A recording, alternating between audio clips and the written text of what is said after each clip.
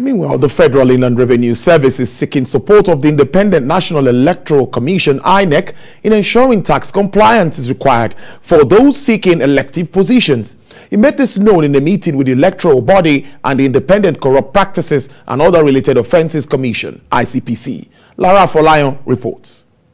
This meeting between the Federal Inland Revenue Service, the Independent National Electoral Commission, and the Independent Corrupt Practices and Other Related Offences Commission is to further drive tax compliance in the country. The FIRS is seeking the support of INEC in this regard. Observations show that some asset declarations made by political actors also have been inconsistent with their tax status. Relevant agencies are encouraged to work together towards ensuring that political parties carry out diligent screening of aspirants and candidates. Tax compliance, therefore, should be a prerequisite for holding political office INEC says though the law doesn't make it compulsory for political candidates to present evidence of tax compliance before contesting, it will work with the FIRS to help it fulfill its mandate. INEC will cooperate with the Federal Inland Revenue Service, with the ICPC, with the Code of Conduct Bureau in our efforts to make Nigeria a better place and to ensure that persons who occupy elective offices comply with the laws of the land, and they are suitably qualified to hold public trust.